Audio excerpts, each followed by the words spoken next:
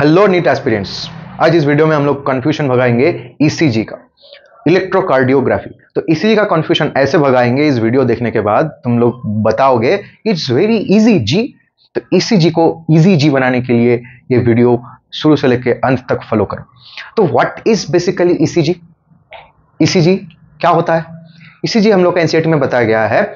ECG is the electrical activities of our heart heart के अंदर क्या होता है? हार्ट के अंदर कंटिन्यूसली बीटिंग हम लोग को देखने को मिलता है। रिदमिक बीटिंग किस लिए हार्ट बीट करते हैं?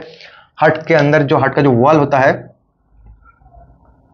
हार्ट का जो वॉल होता है इसमें जो मायोकार्डियल वॉल होता है, जिसके अंदर हार्ट के कार्डियक मसल्स है। Striated striated involuntary rhythmic muscles होते हैं। मायोकार्डियल वॉल में हार्ट का तो उसको जब इम्पल्स मिलता है, उसको जब इम्पल्स मिलता है, तब ये मसल में कॉन्ट्रैक्शन होता है और ये हार्ट बीट करते रहते हैं। ठीक है? अभी हार्ट बीट के लिए जिम्मेदार कौन है? इसका इम्पल्स कहाँ से बनता है? ये इसका इम्पल्स तो हम लोग के नर्वस सिस्टम से नहीं आता है। इसका इम्पल्स बनता है हार्ट के अंदर ही। हार्ट के अंदर एक जनरेटर है, जिसका नाम है S A node sino atrial node जिसको हम लोग पेस मेकर भी बोलते हैं। यानी कि हार्ट बीट जो होता है इसको पेस बोला जाता है, ये पेस मेकिंग करते हैं। ठीक है? तो ऐसे नोट जो होता है, ये मिनट में 70 to 72 times ever at an average ये इंपल्स जनरेट कर सकता है। ठीक है? ये इंपल्स जनरेट कर सकता है और वही इंपल्स जो होता है, ऐसे नोट से आएगा एवी नोड में, फिर एवी नोड से throughout the cardiac muscle फैल जाता है, जो कि हार्ट को contraction relaxation contraction relaxation systole diastole systole diastole करवाते हैं। ओके ओके तो जब हम लोग हार्ट को स्टडी करते हैं हार्ट के इलेक्ट्रिकल एक्टिविटी को पता करने के लिए हार्ट के अंदर का इलेक्ट्रिकल एक्टिविटी को फ्लो ऑफ़ चार्ज को पता करने के लिए हम लोग क्या करते हैं? बॉडी के अलग अलग जगह में कुछ लीड्स लगाते हैं, यानी कि इलेक्ट्रोड्स लगाते हैं। ठीक है? अभी इलेक्ट्रोड्स का काम क्या होता है? इलेक्ट्रोड्स अलग अलग जगह, एक जगह में पॉजिटिव इलेक्ट्रोड लगाएँगे, एक जगह में नेगेटिव इलेक्ट्रोड लगाएँगे। तो पॉजिटिव और नेगेटिव इलेक्ट्रोड के बीच में चार्ज डिफरेंस कैलकुलेट करने का काम करते हैं ये मशीन ईसीजी ठीक है? और ये पोटेंशियल डिफरेंस दोनों इलेक्ट्रोड के बीच में पोटेंशियल डिफरेंस कैलकुलेट करके ये एक ग्राफिकल रिप्रेजेंटेशन देते हैं, जिसको हम लोग बोलते हैं इलेक्ट्रोकार्डियोग्राम ठीक है? तो मशीन का टेक्निक का नाम है इलेक्ट्रोकार्डियोग्राफी और ये जो ग्राफिकल रिप्रेजेंटेशन देते हैं, उसको हम लोग बोलते हैं इलेक्ट्रोकार्डियोग्राम और इसका इसमें जो ग्राफ फॉर्मेशन होता है, जो ग्राफ रीड करते हैं, जिसको बोला है इलेक्ट्रोकार्डियोग्राफ ओके अब चलो देख लेते हैं जो इलेक्ट्रोड है बॉडी के अंदर कहाँ कहाँ पे प्लेस किया जाता है। बिफोर डूइंग ईसीजी तो ये एक ह्यूमन है। तो हम लोगों के मेजर तीन इलेक्ट्रोड दो सॉरी दो रिस्ट में लेफ़्ट और राइट रिस्ट में फिट किया जाता है और तीसरा जो इलेक्ट्रोड है, वो हम लोग के लेफ़्ट एंकल में प्लेस किया जाता है। ठीक है? एक राइट रिस्ट में, एक लेफ़्ट रिस्ट में, एक लेफ़्ट एंकल में। ये तीन मेजर इलेक्ट्रोड प्लेस कर दिए। अब ये तीन मेजर इलेक्ट्रोड का फ़ंक्शन क्या होता है? ये जो बॉडी के अंदर जो लॉन्गिट्यूडिनल एक्सिस होता है लॉन्गिट्यूडिनल एक्सिस में इलेक्ट्रिकल एक्टिविटी को मेजर करते हैं, ठीक है? अब कहाँ पे कौन सा इलेक्ट्रोड कहाँ पे पॉजिटिव कौन सा नेगेटिव इलेक्ट्रोड दिया गया है? हम लोग का जो राइट रिस्ट होता है, वहाँ पे दिया गया है पॉजिटिव इलेक्ट्रोड राइट रिस्ट में। लेफ़्ट रिस्ट में दिया जाता है नेगेटिव इलेक्ट्रोड और लेफ़्ट एंकल में दिया जाता है पॉजिटिव इलेक्ट्रोड ठीक है? ओके अब छह माइनर इलेक्ट्रोड रहता है, जो कि रहता है हम लोग का ये चेस्ट रीजियन में। हार्ट का एक्टिविटीज़ को बहुत क्लोजली मॉनिटर करने के लिए। तो उसको नाम दिया जाता है V one to V six छह इलेक्ट्रोड ये रीजियन में रहते हैं। हार्ट अंदर बॉडी के अंदर हार्ट है ये रीजियन में। तो हार्ट के चारों ओर बॉडी के बाहर से हार्ट का एक्टिविटीज़ को बहुत क्लोजली मॉनिटर करता है। और कौन सा प्लेन में? ये ट्रांसवर्स प्लेन में। ट्रांसवर्स प्लेन में जो है ट्रांसवर्स प्लेन में बॉडी को अगर इस तरह से, इस तरह से काटा जाए। तो ये प्लेन में भी इलेक्ट्रिकल एक्टिविटी होगा, ये प्लेन में भी इलेक्ट्रिकल एक्टिविटी होगा, ये प्लेन में भी इलेक्ट्रिकल एक्टिविटी होगा। ये दोनों प्लेन में इलेक्ट्रिकल एक्टिविटी को मेजर करने के लिए हम लोग ये दो टाइप का लीड या इलेक्ट्रोड इंस्टॉल करते हैं। ठीक है? ओके तब ये जो ग्राफ बना है, जिसको हम लोग P Q R S T से रिप्रेजेंट कर रहे हैं, ये ग्राफ में देख रहे हैं कि कहीं कहीं पे सीधा लाइन गया है। कहीं कहीं पे ग्राफ ऊपर की तरफ़ छलंग लगाया है कहीं कहीं पे ग्राफ ये नीचे की तरफ़ डिप लगाए है। तो इसका मतलब क्या होता है, कैसे ये बनता है, चलो हम लोग डिटेल में देख लेते हैं। ओके? ओके।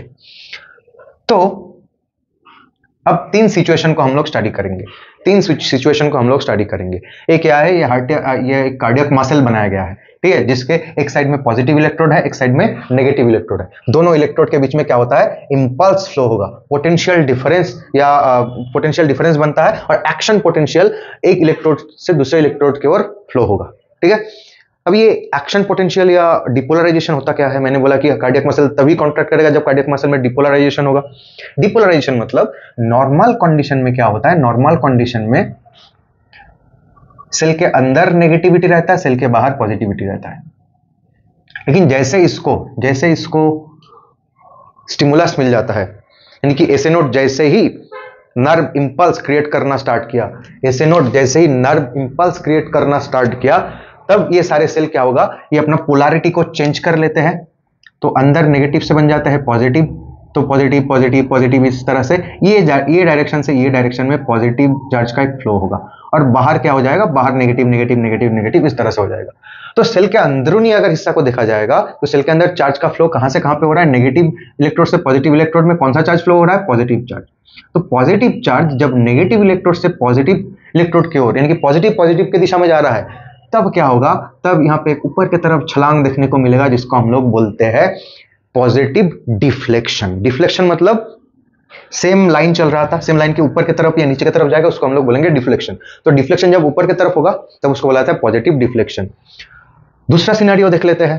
दूसरा सिनेरियो अब इधर क्या है? अब डिपोलराइजेशन मान लो कि पॉजिटिव इलेक्ट्रोड से शुरू हुआ है और ये जा रहा है नेगेटिव इलेक्ट्रोड की ओर. तो एक्शन पोटेंशियल का डायरेक्शन किधर होगा? टुवर्ड्स नेगेटिव इलेक्ट्रोड तो पॉजिटिविटी जा रहा है किधर? नेगेटिव इलेक्ट्रोड की ओर। तो पॉजिटिव जब नेगेटिव की ओर जाएगा पॉजिटिव इंपल्स पॉजिटिव चार्ज जब नेगेटिव इलेक्ट्रोड की ओर जाएगा पॉजिटिव चार्ज जब नेगेटिव इलेक्ट्रोड की ओर जाएगा तो क्या होगा? ये लाइन नीचे की तरफ़ एक डिप लगाएगा, एक वी एक वैली क्रिएट करेगा, जिसको बोला जाता है नेगेटिव डिफ्लेक्शन ओके अब तीसरा सिनारियो स्टडी करते हैं।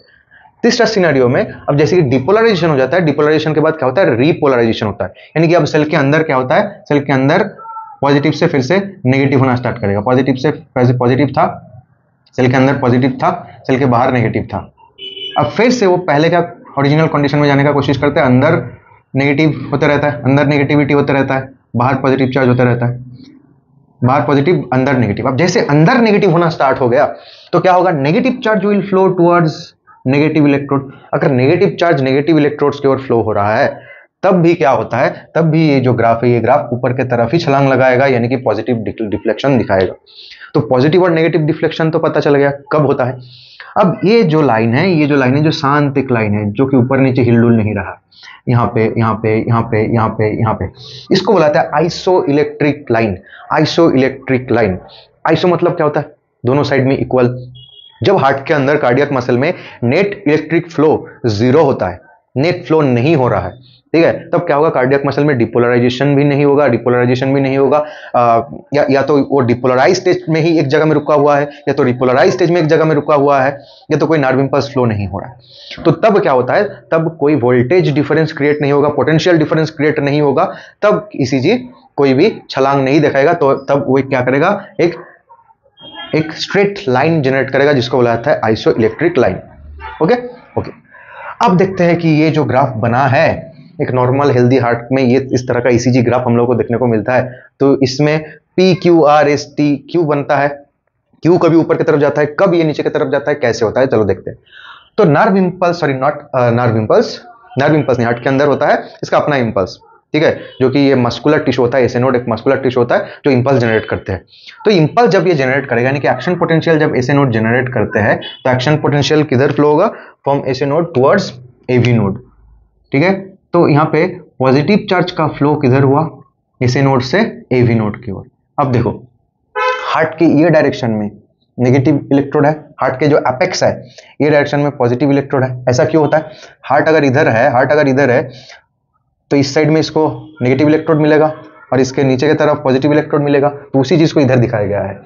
ओके तो एपेक्स की ओर पॉजिटिव और उसका जो ऊपर की तरफ़ है, जहाँ से सुपीरियर जिस, जहाँ पे एसे नोड वगैरह है, वहाँ, उधर उसका नेगेटिव इलेक्ट्रोड है। तो एसे नोड से जब एवी नोड के ओर पॉजिटिव चार्ज का फ्लो होता है नर्व इंपल्स सॉरी हार्ट का जो इंपल्स है एसे नोड का जो इंपल्स है, उसको आगे बढ़ाने के लिए तब क्या होता है?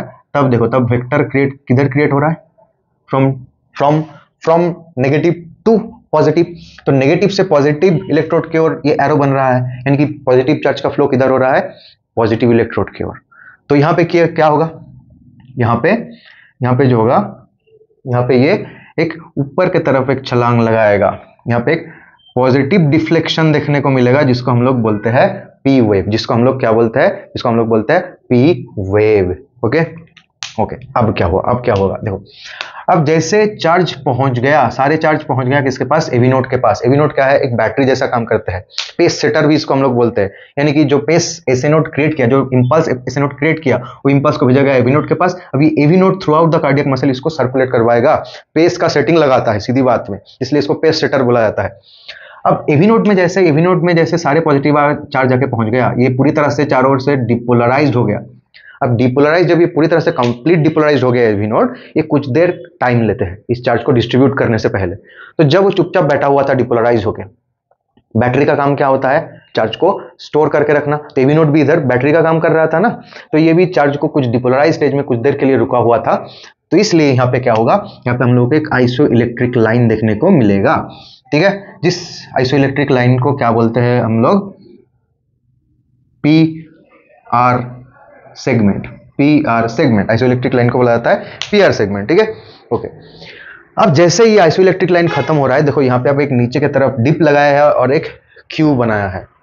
ओके अब बेसिकली ये पी जब क्रिएट होता है, यानी कि जब इसे नोट से इधर जब इलेक्ट्रिक इलेक्ट्रिक इंपल्स जब फ्लो हो रहा है, तब क्या होता है? तब एक्चुअली ऑरिकल का ऑरिकल का सिस्टोल हो रहा है ऑरिकल का कॉन्ट्रैक्शन हो रहा है, ठीक है? तो ऑरिकल का contraction actually So, P wave basically is formed during the time of auricular systole. Auricular systole या ऑरिकुलर कॉन्ट्रैक्शन या ऑरिकुलर डिपोलराइजेशन यानी कि ऑरिकल उस समय नीचे की तरफ़ ब्लड पंप कर रहे हैं। ठीक है? तो उस समय जो इलेक्ट्रिकल एक्टिविटी है, उसकी वजह से पी वेव क्रिएट होगा। अब क्यों प्री पी वेव क्रिएट हुआ? पता चल गया, इस नोट से एवी नोट की ओर ये एरो बन रहा था। अभी एरो का डायरेक्शन क्या था? टुवर्ड्स पॉजिटिव इलेक्ट्रोड इसलिए यहाँ पे पॉजिटिव डिफ्लेक्शन क्रिएट हुआ। ओके उसके बाद यहाँ पे क्यू जहाँ पे फॉर्म हुआ है, जहाँ पे क्यू फॉर्म हुआ है, देखो ये क्यू अब ये आइसोइलेक्ट्रिक लाइन से नीचे चला गया है। तो यहाँ पे एक नेगेटिव डिफ्लेक्शन क्यू क्रिएट हुआ। अब ये, जैसे कि अब ये एवी नोड से क्या हो गया एवी बंडल रिलीज़ होता है।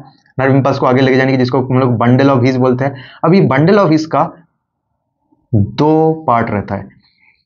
राइट बंडल ऑफ़ हीज और और लेफ़्ट बंडल ऑफ़ हीज अब लेफ़्ट बंडल ऑफ़ हीट जो होता है, ये ज़्यादा स्ट्रॉन्गर होता है क्योंकि इसको नर्व इंपल्स को पहुंचाना पड़ता है किसके पास? लेफ़्ट वेंट्रिकुलर वॉल के पास। और लेफ़्ट वेंट्रिकल का वॉल जो होता है राइट वेंट्रिकल का वॉल से ठीक होता है। लेकिन अब वेंट्रिकुलर वॉल में अभी तक नहीं गया है। अब जो नर्व इंपल्स है, यानी कि पॉजिटिव चार्ज का फ्लो है, जो डिपोलराइजेशन है, ये लेफ़्ट बंडल ऑफ़ हीट से नीचे की तरफ़ आना स्टार्ट कर देगा। ठीक है? इस तरह से आगे फ्लो होगा। लेकिन इधर जो मसल है, इधर जो मसल्स है, इधर जो मसल सेल्स है उसको उसमें कॉन्ट्रैक्शन जो होगा, उसमें जो कॉन्ट्रैक्शन होगा, उसमें कॉन्ट्रैक्शन होगा ये डायरेक्शन में। उसमें कॉन्ट्रैक्शन होगा ये डायरेक्शन में। उसको उसमें कॉन्ट्रैक्शन होगा ये डायरेक्शन में। तो from left side towards right side यहाँ पे हम लोगों को एक एक पॉजिटिव चार्ज का फ्लो देखने को मिलेगा। क्योंकि ये यहाँ पे जो सेप्टम है, ये दोनों हट कर लेफ़्ट और राइट साइड को सेपरेट कर रहा है, कौन कर रहा है? सेप्टम कर रहा है। तो यहाँ पे सेप्टल डिपोलराइजेशन जब होता है सेप्टल डिपोलराइजेशन के समय क्या होता है? इलेक्ट्रिक चार्ज मतलब जैसे ही इलेक्ट्रिक चार्ज आ गया इधर पॉजिटिव चार्ज इधर का कार्डियक मसल को ये डायरेक्शन में डिपोलराइज कर रहा है। ये डायरेक्शन में डिपोलराइज कर रहा है। तो इसलिए इधर वेक्टर फॉर्मेशन किधर होगा? फ्रॉम लेफ़्ट टू राइट और ये है लेफ़्ट ये है राइट पॉजिटिव इलेक्ट्रोड है लेफ़्ट में नेगेटिव सॉरी पॉजिटिव इलेक्ट्रोड है लेफ़्ट में नेगेटिव इलेक्ट्रोड है राइट में। ठीक है? अब जो पॉजिटिव मतलब ये क्या डिनोट कर रहा है? Flow of positive charge towards negative electrode, flow of positive charge towards negative electrode तो यहाँ पे क्या होगा? यहाँ पे नेगेटिव डिफ्लेक्शन होगा। यहाँ पे नेगेटिव डिफ्लेक्शन होगा, जिसको हम लोग बोलते हैं क्यू ओके तो नेगेटिव डिफ्लेक्शन क्यू हुआ, पता चला इधर? Systolic sorry septal septal contraction के दौरान। सेप्टल कॉन्ट्रैक्शन जब होता है, तब क्या होता है? सेप्टम में सेप्टम में डिपोलराइजेशन होगा। ठीक है? और इसमें कौन सा बंडल रिस्पॉन्सिबल है? Left bundle of His responsible है, इसीलिए जो चार्ज फ्लो का डायरेक्शन है, वो इधर हुआ। ठीक है?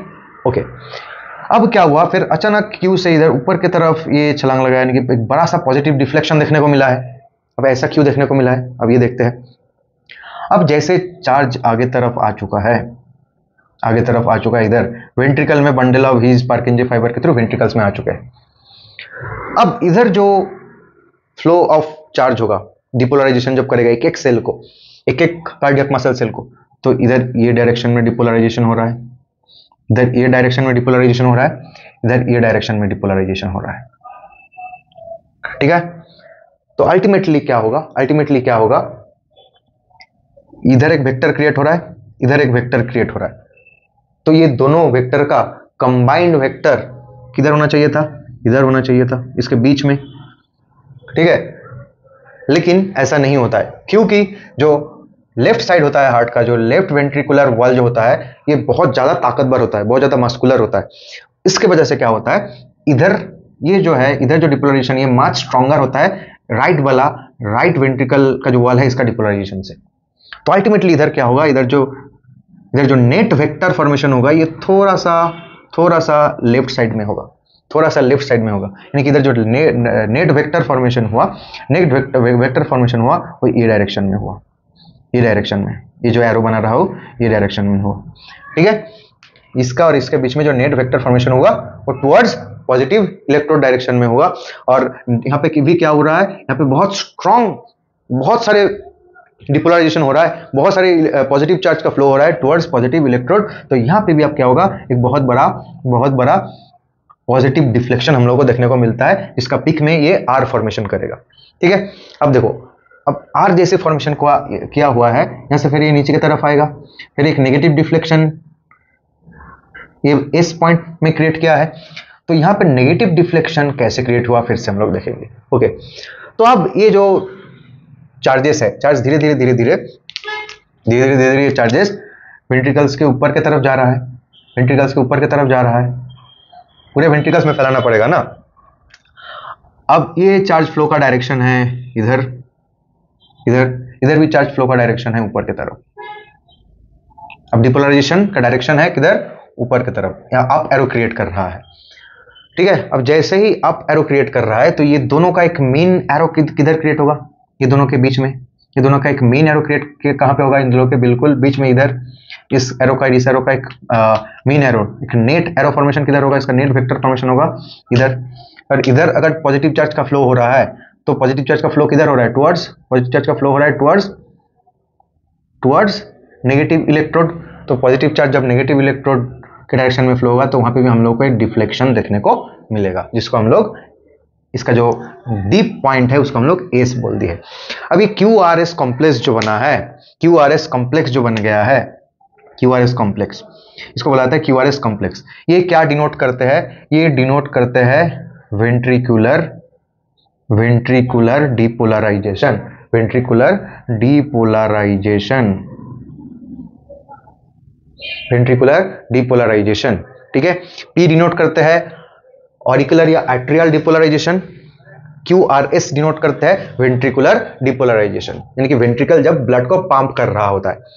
ठीक है? अब यहाँ पे तुम लोग का मन में क्वेश्चन आ रहा है, सर ऑरिकुलर सिस्टोल बोले ऑरिकुलर डिपोलराइजेशन बोले तो फिर ऑरिकुलर डायस्टोल भी तो होगा ऑरिकुलर डिपोलराइजेशन भी तो होगा ऑरिकल को डिपोलराइजेशन के बाद ऑरिकुलर रिपोलराइजेशन भी तो होगा ऑरिकल में जब डायस्टोल होगा डिपोलराइजेशन के बाद रिपोलराइजेशन आते हैं।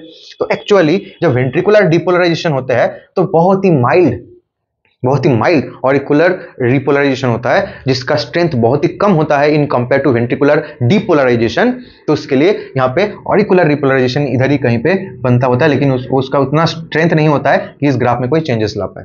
ठीक है तो ऑरिकुलर रिपोलराइजेशन किधर हो रहा है? ऑरिकुलर डायस्टोल किधर हो रहा है? क्यूआरएस कॉम्प्लेक्स के अंदर ही किधर आसपास हो रहा है। ठीक है? ओके ओके अब नेक्स्ट क्वेश्चन है फिर एस में जैसे, इस पॉइंट में जैसे नेगेटिव डिफ्लेक्शन खत्म हो गया, उसके बाद फिर से एक आइसोइलेक्ट्रिक लाइन जिसको हम लोग बोलते हैं, जिसको हम लोग बोलते हैं एसटी सेगमेंट ये एसटी सेगमेंट क्यों फॉर्म हुआ?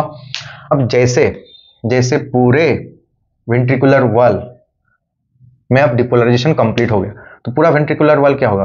पॉजिटिवली चार्ज हो जाएगा। पूरा वेंट्रिकुलर वॉल क्या होगा? पॉजिटिवली चार्ज होगा। कंप्लीट डिपोलराइजेशन ऑफ़ वेंट्रिकल हो गया।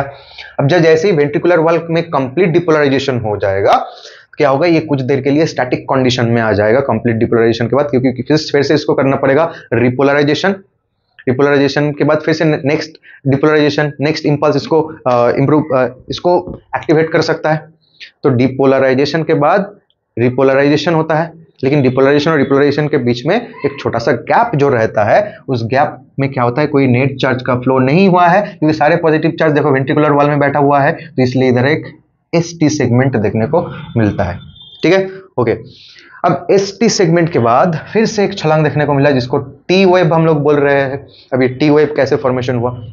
टी वेव का मतलब होता है टी वेव का मतलब होता है वेंट्रिकुलर रीपोलराइजेशन वेंट्रिकुलर रीपोलराइजेशन अब वेंट्रिकुलर तो जैसे वेंट्रिकुलर रिपोलराइजेशन स्टार्ट हो जाते हैं तो इधर देखो नेगेटिव चार्ज का फ्लो क्रिएट होता है अब। नेगेटिव चार्ज का फ्लो क्रिएट होगा। ये डायरेक्शन में। नेगेटिव चार्ज का फ्लो क्रिएट होगा। नेगेटिव चार्ज का फ्लो क्रिएट होगा। इस तरह से। जब नेगेटिव चार्ज का फ्लो क्रिएट होता है नेगेटिव चार्ज का फ्लो क्रिएट होता है तो इस, ये दोनों डायरेक्शन से जब नेगेटिव चार्ज में यानी कि रिपोलराइजेशन स्टार्ट होता है तो इसका जो मीन वेक्टर बनेगा, यानी कि जो वेक्टर फॉर्मेशन होता है वेक्टर फॉर्मेशन होता है वेक्टर तभी अपर अप एरो क्रिएट करेगा। यानी कि डिपोलराइजेशन ऊपर की तरफ़ हो रहा है ना? डिपोलराइजेशन इधर देखो डिपोलराइजेशन के समय कार्डियक मसल में नेगेटिव चार्ज का फ्लो ऊपर की तरफ़ हो रहा है। तो ये साइड ये साइड दोनों साइड में डिपोलराइजेशन हो रहा है। तो अल्टीमेटली ये दोनों का एक मीन दोनों का एक नेट वेक्टर क्रिएट होगा, जो कि ये जो रेड एरो बनाया गया है किधर फ्लो हो रहा है, ये फ्लो हो रहा है, इसका डायरेक्शन है टुवर्ड्स नेगेटिव इलेक्ट्रोड जब नेगेटिव चार्ज नेगेटिव इलेक्ट्रोड की ओर भागेगा, तब क्या होगा? तब फिर से हम लोगों को पॉजिटिव डिफ्लेक्शन देखने को मिल सकता है। तो इधर भी एक छोटा सा वेव देखने को मिलता है, छोटा छोटा सा पॉजिटिव डिफ्लेक्शन देखने को मिलता है, जिसको हम लोग टी वेव बोलते हैं। और ये टी वेव का मतलब होता है वेंट्रिकुलर रिपोलराइजेशन वेंट्रिकुलर रिपोलराइजेशन ठीक है? तो यहाँ पे बन गया हम लोगों का टी वेव अब टी वेव के बाद कभी कभी एक छोटा सा बहुत ही निग्लिजिबल छोटा सा एक यू वेव भी देखने को मिलता है। एक छोटा सा यू वेव देखने को मिलता है। अब ये यू वेव है क्या? यू वेव है this is U wave means repolarisation of papillary muscle अब वेंट्रिकल का जो वॉल होता है वेंट्रिकल का वॉल में कुछ पैपिलरी मसल्स होता है। पैपिलरी मसल्स का फ़ंक्शन क्या होता है? कॉर्डिटेंडनी कॉर्डिटेंडनी को पकड़ के रखना। कॉर्डिटेंडनी को पकड़ के रखना होता है पैपिलरी मसल का काम। ठीक है? इसके साथ ट्राइका स्पीड और बाइका स्पीड वाल जुड़ा हुआ है यानी कि जब वेंट्रिकल जब रिलैक्स होते हैं, जब ब्लड रिसीव करते हैं तो कॉर्डिटेंडनी को खींचना पड़ेगा। बाइका स्पीड और ट्राइका स्पीड वाल्व को ओपन करने के लिए। ठीक है? तो अल्टीमेटली जब वेंट्रिकुलर रिपोलराइजेशन हो रहा था वेंट्रिकल जब डायस्टोल में आ रहा था रिलैक्स हो रहा था, तब क्या होगा? तब ये पैपिलरी मसल में भी पैपिलरी मसल में भी रिपोलराइजेशन होता है। पैपिलरी मसल में भी रिपोलराइजेशन होता है और ये repolarization of papillary muscle denote करते हैं। ये डिनोट किया जा रहा है बाय द वेव यू तो पैपिलरी मसल का भी रिपोलराइजेशन का डायरेक्शन यही होगा। पेपिलरी मसल का डिपोलराइजेशन का डायरेक्शन ये होगा। तो पेपिलरी मसल का डिपोलराइजेशन का डायरेक्शन अगर ये वाला होगा तो इधर क्या होता है? ये जो नेगेटिव चार्ज का फ्लो ये दिखाएगा टुवर्ड्स टुवर्ड्स ये दोनों का मेन जो होगा, दोनों का नेट चार्ज ऑफ़ फ्लो दिखाएगा टुवर्ड्स नेगेटिव इलेक्ट्रोड और वहाँ पे भी एक छोटा सा पॉजिटिव डिफ्लेक्शन क्रिएट होता है। तो ये होता है, हो गया है हम लोगों का ईसीजी e का एक्सप्लेनेशन ठीक है, अब कभी कभी क्या होता है? कभी कभी कभी कभी ये नॉर्मल ईसीजी e देखने को नहीं मिलता है। कभी कभी क्या होता है? कभी कभी ये ईसीजी e में इस तरह का एलिवेटेड एसटी सेगमेंट जो है, ये एलिवेटेड देखने को मिलता है। ठीक है? तो ये एलिवेटेड एसटी सेगमेंट कब देखने को मिलेगा?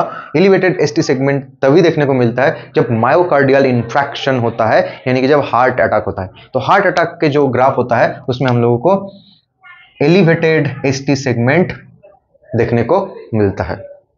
ओके यानी कि इंक्लाइंड एसटी सेगमेंट देखने को मिलता है। और यहाँ पे देखो टी सेगमेंट जो होता है, ये बहुत ऊपर दिखा रहा है।